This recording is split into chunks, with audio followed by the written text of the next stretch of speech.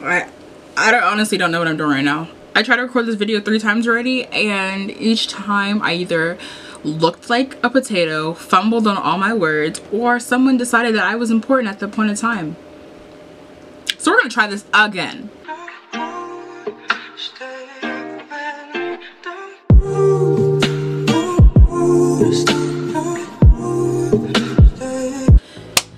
Hey guys, it's your girl, Skinny Penis. Now playing. It's Alliah.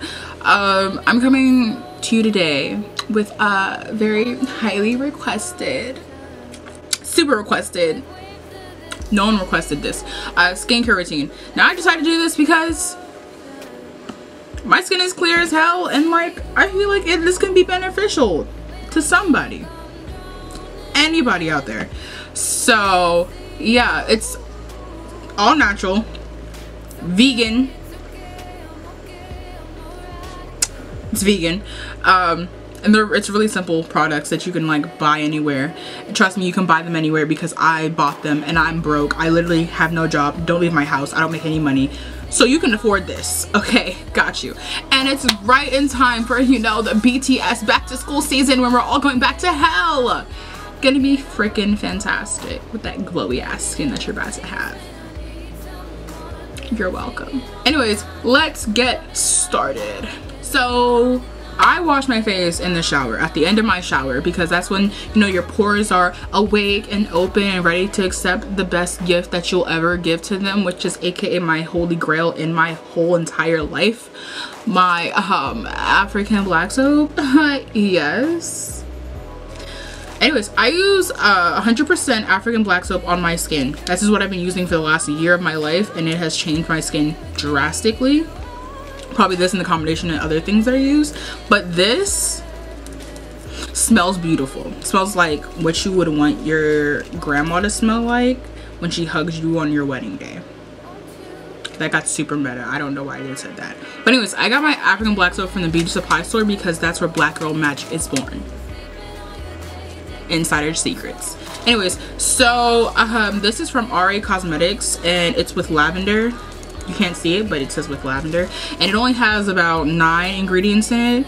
African black soap isn't actually black. It's kind of a colorway of brown and like other colors. And it's really soft. Like it can melt in the shower. That's why i put mine i break mine in half and i put it in my little lush container that i have. And i just take a little bit off and i put it on uh, my spray brush that i use with my my water and my soap obviously um, this is just like a little Vanity Planet spin brush dupe from Amazon, but it works just the same. Um, it's busted, but aren't we all just a little busted? Hello, darkness, my old. Yeah, so um, I put that on there with a little bit. I just put on my brush. This is a very like coarse brush that I have because my skin, I just like to get in in the deep nitty gritty. Um, I use that with sometimes my Dr. Bronner's hemp soap, the peppermint kind, because I like how the cooling effect is on my face like how you feel when you eat five gum um but yeah and that's what i use in the shower to like wash my face and then i get out the shower and i dab my face dab i'm horrible but i dab my face off with a towel that isn't my body towel so i won't get any bacteria from the long adventures i go on leaving my house i don't go on any adventures i stay in my bed all day anyways when i come into my bedroom and uh, before i get dressed and everything i spray my face with rose water this is the olivia care rose coconut rose rose rose water uh, it's just like regular rose water that I put in this cute bottle because I liked it. But I got this from Marshalls for $6. And I spray it over my face and let it soak in when I put my clothes on. And when I'm done with that, I put my moisturizer on. And it's real moisturizing. it depends what season it is. If it's winter fall season i use african shea butter pure african shea butter. It's jesus for your skin. Any skin all skin all state I don't know what's wrong with me. But this is so good. I have oil, really, really oily skin. Like I used to have like pools of oil when I wake up and it was disgusting. Like you could dip your french fries in there. It's nasty. But ever since I started using this, my face doesn't get oily like that anymore. Um, as I said, I use this uh, in the winter time because it gets very dry outside where I live. I live on the East Coast and it's just cold and dry and the apocalypse. Basically. Um, but yeah I use a little bit on there and I like just rub it in. It's all nice and moisturizing and thick. Your girl's a little thick. Um, yeah and then in the spring summertime when it's not too uh, dry outside and it's very hot and humid I use rosehip oil 100% rosehip oil which is so good for fine lines and like brightening your skin. It's just really nice. It's really light and everything um, and it has a little dropper which is nice. I just like drop it in my face just rub it in it's really it's really relieving. It's really just such a stress relief because you know I'm so stressed out.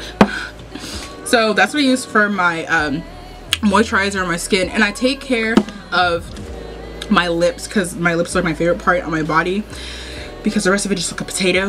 Um, and for my lips I use Blistex which is the best thing ever. I also have Carmex in here. Any two of these will save your ass on a good day um, I also started putting uh, vitamin E oil on my lips as soon as I got the shower so we just give it a, a burst of moisturization.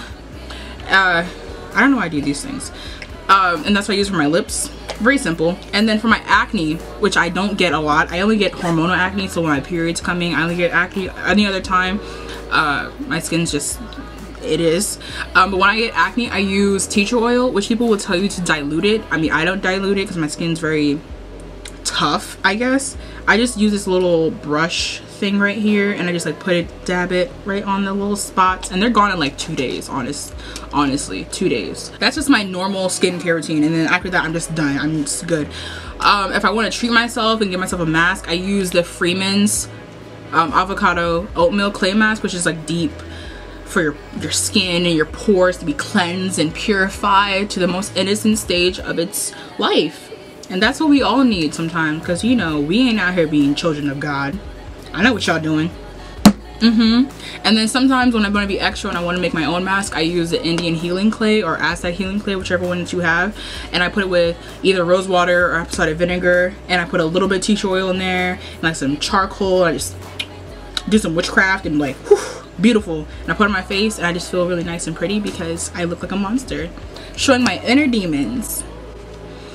Um, but that's basically all I use for my skincare which is really simple. All these things are uh, i think not not tested on animals and they're vegan cruelty free which i'm all about that cruelty free life not tested on animals because animals are beautiful. Yes lord. Um but yeah that's about it for my skincare routine. Took me five tries but i finally got it down guys. Yeah. Um i don't know when i'm gonna upload again but um you'll just go with the flow and i'll just go with the flow and we'll be flowing together Bye now.